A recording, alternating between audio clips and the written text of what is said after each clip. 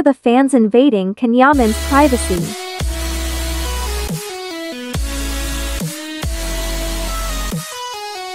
Who are the fans invading Can Yaman's privacy? New background is popping up on Can Yaman's outburst message on Instagram. The actor, always with kind and respectful ways towards his general public, tried to make some of his fans understand that he was too aggressive and not to respect him, not to respect his privacy. Can Yaman said I will definitely change the house in Rome, not because I'm leaving, because people have crossed all limits here. I can no longer cope with the stalker.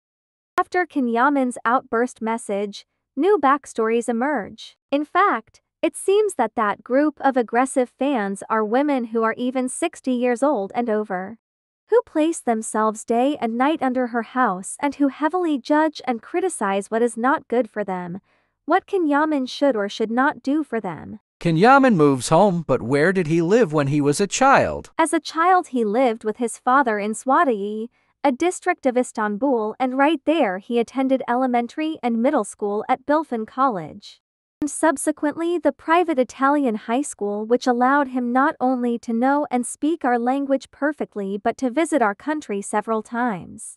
Where is Can Yaman's house located in Rome? The actor lives in Rome very close to the Colosseum in an elegant and chic house, truly beautiful. Obviously now, after the outburst on Instagram at the end of May, he will change his home. Are you in favor of Can Yaman's decision to move to Rome? Will he have peace of mind if he moves?